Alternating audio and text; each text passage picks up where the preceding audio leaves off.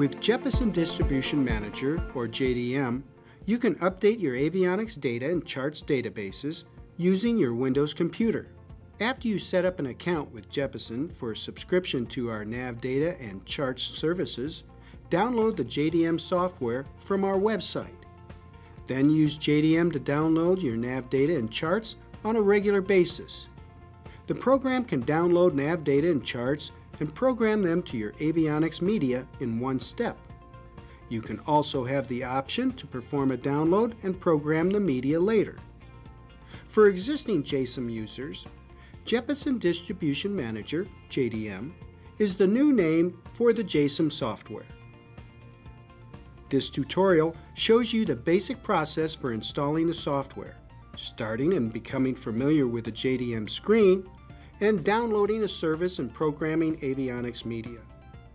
Note that we'll be using sample data for our demo. Your information will be specific to your account. We'll wrap up with a list of resources and support contact information. An installation wizard will step you through the process. If you currently use JSUM, note that JSUM and JDM cannot be installed on the same computer. If JSUM is currently loaded on your computer, the installer will remove JSUM prior to installing JDM. Instead of the JSUM program icon on your desktop, you'll see the JDM icon. When installation is complete, the JDM program icon appears on your desktop. To start JDM, double-click the JDM program icon to start the application. Enter your username and password.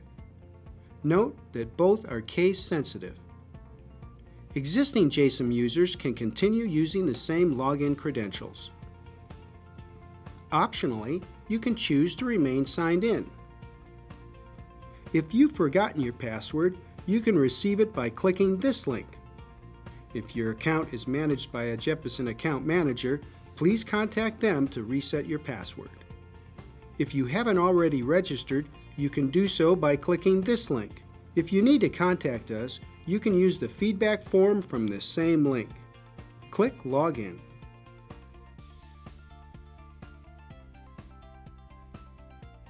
A quick start tutorial appears to help you get up and running. Click through the screens to proceed to the program.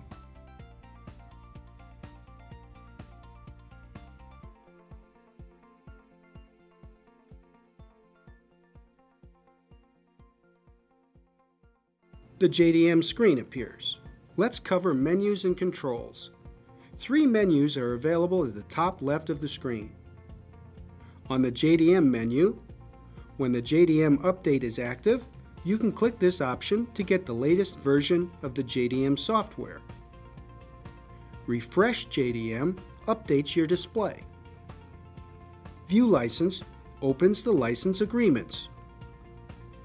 Proxy settings are only used by customers who install JDM on a network.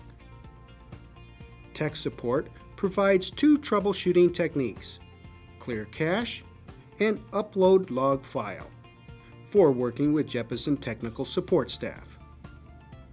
Exit closes JDM and logs you out of your account. The Help menu provides options to view the About screen, about the JDM software version, View Help, and View Quick Start Guide. The Window menu lets you adjust the zoom level of the JDM window. Moving over to the center of the screen, Username shows your login username and customer number. Hover the cursor over the label and the logout option appears. The toolbar includes icons that you click to access additional functions. Quick Links opens a screen with links to Jeppesen.com, alerts and notices, modified data report, JeppDirect General Aviation Store, and Data and Charts Update Schedule. The Preferences option allows you to choose preferred settings for these functions. In future releases, with the Automatic Downloads option enabled, JDM checks for any updated services that are available for download and downloads them automatically every time you start the program. Show network diagnostics at login. Enable this option and JDM checks your network status every time you log in. Display Quick Start Guide. Shows the Quick Start Guide for helpful reminders when you log in. Confirmation at logout. With this option enabled, JDM prompts you to confirm each time you log out. Enabling this option could prevent unintentional interruptions during downloads. Show Runway Length Filter provides an option during subsetting to allow you to filter for runway length. Show more or less notifications. Shows more or less notifications on the status of your downloads. History opens your account history file showing your download and programming activity. Help. Click this icon to open the help file. The search function provides a quick and easy way for you to narrow your search on a particular aircraft and the associated services. We'll come back to this in a moment. You can find quick status icons at the lower right corner of the screen. Network connectivity status shows your internet status, connected, blue, or not connected, red. Automatic downloads. In future releases, shows if you have auto downloads enabled, dark, or not, grayed out, in Preferences. The aircraft list area shows the aircraft makes, models, and tail numbers associated with your account. Please contact your Jeppesen account manager if an aircraft displays as a generic tail number, such as in this example.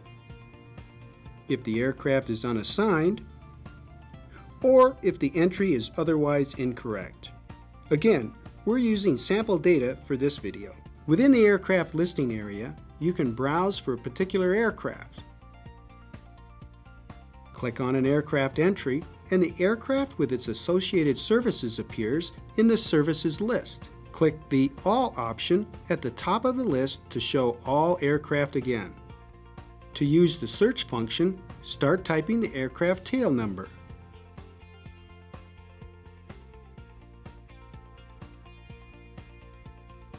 Select the aircraft from the filtered list.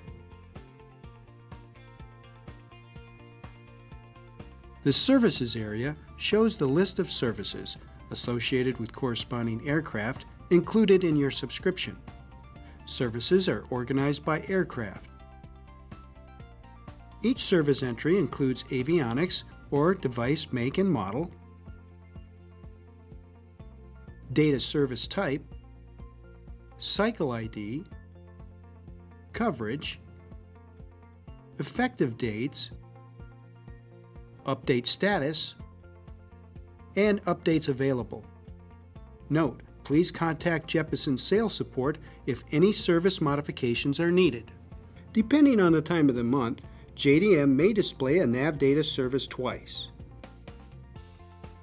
The current service displays until its expiration date.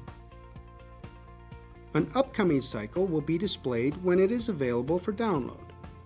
When an upcoming cycle is available, the current cycle is marked with a green flag and the future cycle is marked with an orange flag. Services are grayed out if there are no more updates remaining for this cycle as noted in the status field.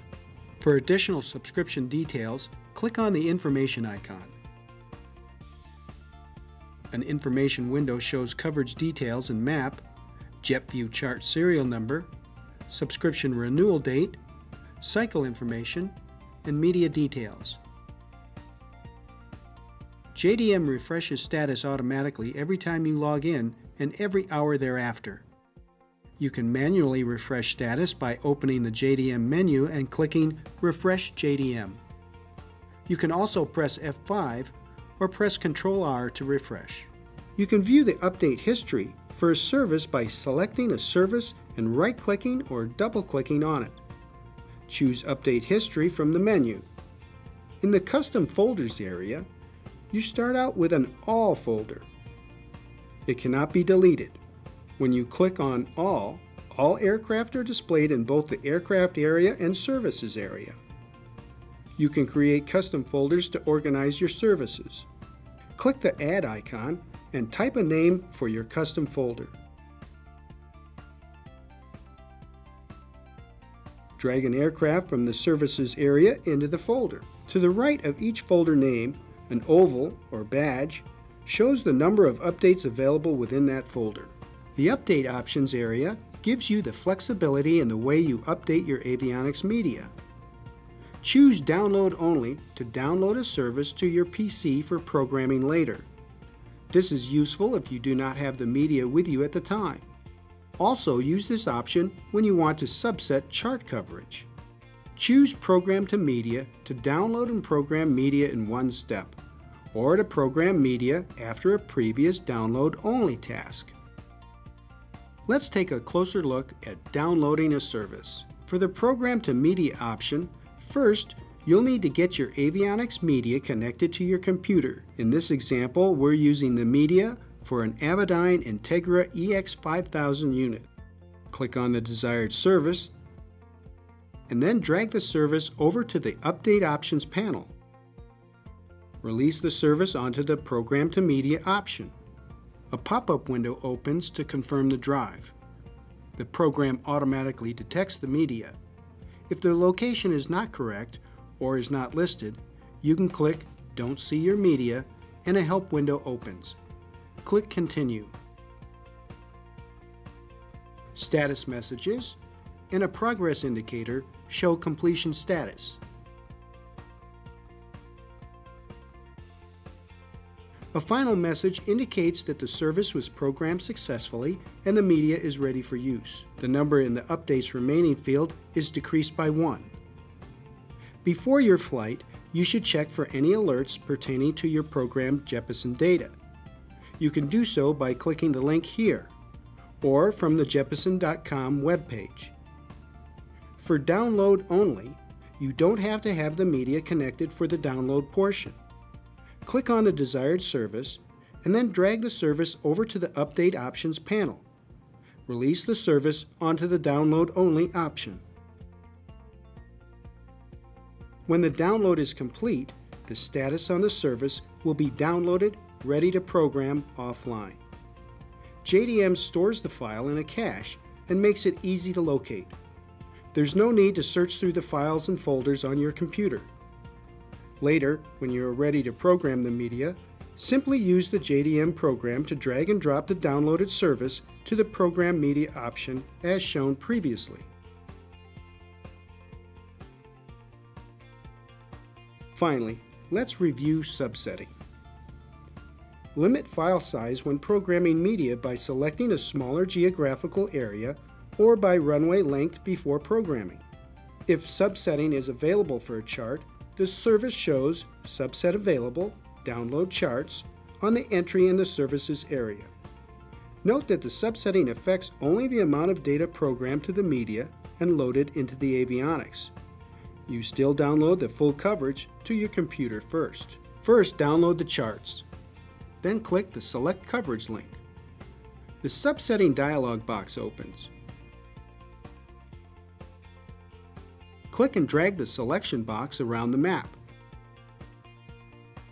And use the corners of the selection box to resize it.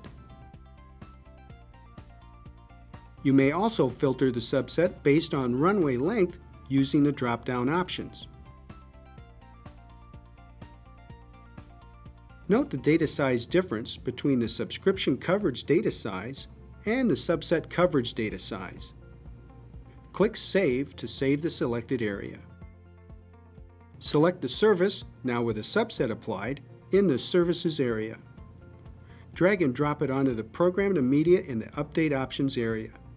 You can also double-click or right-click on the service and select Program to Media from the pop-up menu. Now that we've introduced you to the basics, you can start using JDM to keep your nav data and charts up to date. For support, including any questions you might have about transitioning from JSUM to JDM, visit us on the web. By phone, you can contact us at these numbers. Thanks for watching.